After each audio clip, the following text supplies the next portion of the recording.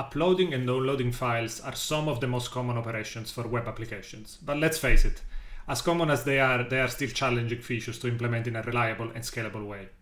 This is especially true when we talk about serverless environment where you have strict limits in payload size and you cannot have long running connections. So what is the solution? If you're using S3, pre-signed URLs can help you quite a bit. And in this episode, we're going to be talking about uh, pre-signed URL. And if you stick until the very end of this episode, we're going to disclose an interesting and quite unknown tip about pre-signed URLs. My name is Luciano, and today I'm joined by Owen, and this is AWS Bites podcast.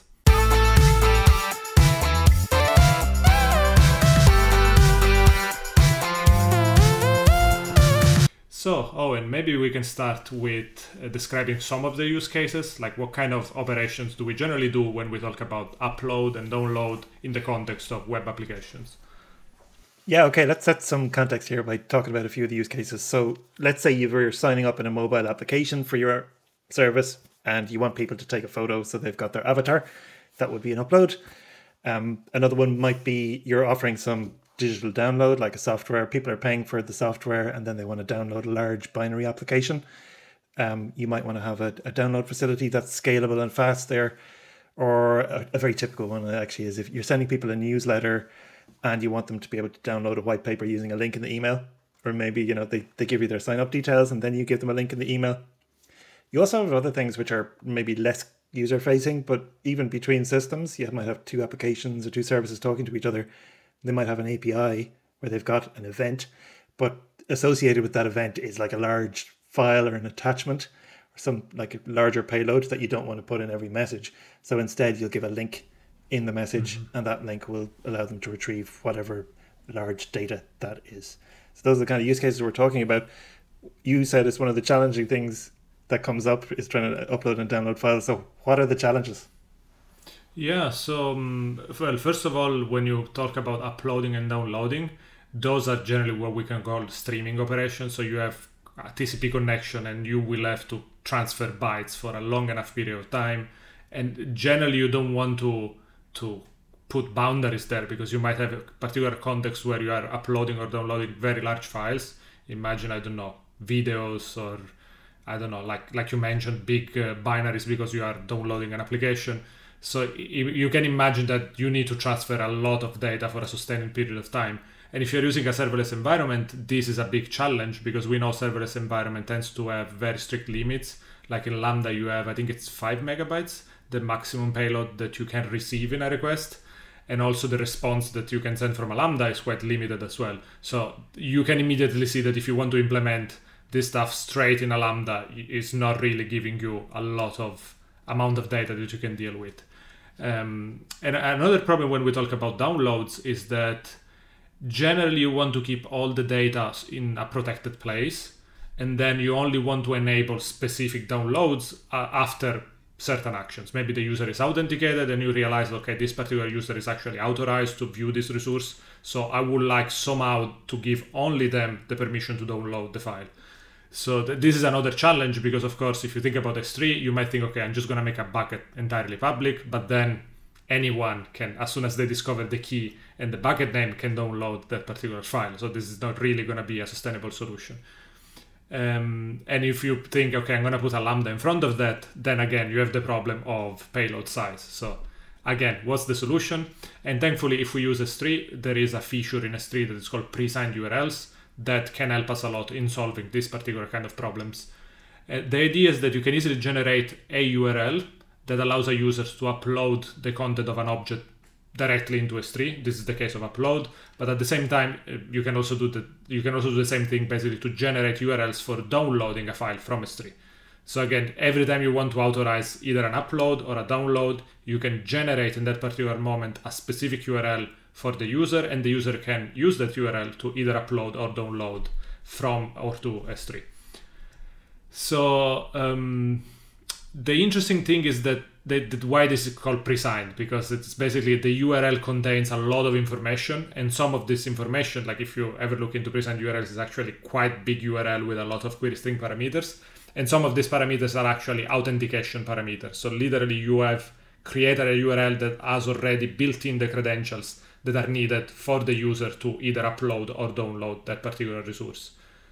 And at the end of the day, this is good because you are relying entirely entirely on a managed service like S3, so you don't have to be worried about the infrastructure. Is it gonna scale? Is it gonna support all the data they need to support? So really, you don't need any additional infrastructure or commute compute. You just need to make sure you generate the URLs at the right time before the user perform that particular action. So I suppose the next question is how do we actually generate this kind of URLs? Yeah, like if you want to just generate one ad hoc for whatever reason without building it into the application, you can use the AWS CLI to do that. You can also use the S3 console in the AWS management console. And you also have like IDE integrations. So the AWS Explorer for Visual Studio, but also allows you to browse your bucket and right click and get a pre signed URL for it. So those examples, the, the console and Visual Studio, that only works for download. It doesn't allow you to do uploads. Um, the more, I suppose, powerful, flexible way to do it is with the AWS API or the SDK, where you can generate pre signed URLs for uploads and downloads. So then, if we take those two cases, how do you do a download? Well, you need to specify okay, what's the bucket and what's the key, and then you can also specify some additional configuration like some headers that are associated with the download or an expiry. So, how long does this pre signed URL remain valid for? And once you do that, you will get this really big URL you mentioned with loads of query string parameters, and that will link to the file. So if user clicks on that or curls it, they will be able to download that file as long as they haven't changed the HTTP request anyway that would invalidate the signature that's embedded in the URL, and as long as the expiry time has not elapsed. Mm-hmm. So that's the get method, and it works in a very similar way for uploads. With uploads, you actually got a couple of options. You can use a pre-signed put, which works exactly the same way as the pre-signed get. Everything is in the URL, and you can also put in the content type and the content length header that that's required, and then basically you just put the body of your file into the HTTP request body. Um, so that's how put works. Pre-signed post is actually like a special feature. It's an additional kind. It's a different kind of a pre-signed URL, and it uses form data like HTTP form um, mm-hmm. data instead of using like a normal post with a, a octet stream or a binary payload. So the pre-signed post, it comes with a, it, you actually get a much shorter URL, but instead of the having all of the Im- data embedded in query string parameters, you get a set of fields back that you have to put into your form data. And a form data is basically like a multi-part body where you specify each field in the form. One of those, all of those fields that AWS tells you you have to provide in your pre-signed post response, and then you one of them will also be the file uh, content encoded in there too. And there is a really good post actually talking about how this is sometimes the best option to use uh, it's by Zach Charles, and we'll link to that in the show notes. And it's, it's a good guide to using the post method. The real advantage with pre-signed post is that you can specify limits on the file size that's going to be uploaded. Nice. So I suppose another interesting uh, point of conversation is generally if you're building an application and you receive a file from an upload, you are trying to, to to do something with that file, right? There is some workflow that is intrinsically part of your application. Uh, just to make an example, you upload a picture and maybe you want to process it with, I don't know, Rekognition to try to identify objects or text or something like that in that particular picture. And then maybe you can attach some metadata and store it somewhere and make it available to, to users. So how do you actually trigger the second part of the workflow? We know at this point how you can perform the upload, but what actually triggers the, the, the rest of the workflow? And there are different ways that you can actually do that. Some are asynchronous and some can be synchronous. The asynchronous one is basically relying on notifications. You can either set up S3 object notifications or EventBridge notifications, and then you can listen to those notifications and trigger, for instance, a Lambda, and then Lambda can orchestrate the rest of the workflow. Or maybe you can start a step function. There is really no limit in how you actually process it. The only thing you want to know is exactly the point where the file was completed, uh, completely uploaded, and at that point you can receive the notification and decide how to process that notification. Another use case that I've seen um, is basically, for instance, I don't know, the case that you are uploading an avatar in a web application and then maybe you want to make sure your profile is actually updated to reflect the new avatar. So you can implement that in a slightly different way. For instance, rather than using events, what you could be doing, you could have two different API calls. The first API call is actually using the pre-signed URL to upload the file, and then there is a second API call where you say upload my update my profile with this key, which is going to be my new avatar. So it's up a little bit up to the client to coordinate the two different requests, but it's another valid solution. The other point I was going to mention on the automated processing is that you might ask, is the new S3 object lambda feature something that will help us here? But like the S3 object lambda is something that allows you to do lambda post processing when you do a get or a head request, but it doesn't support uh, any kind of automation on, on put or post. So no no joy here at least yet. And if you don't know about this particular feature, we have a blog post by Owen that describes what uh, how to use all of that and what are the limits. So we'll we'll have it in the show notes. Excellent, excellent.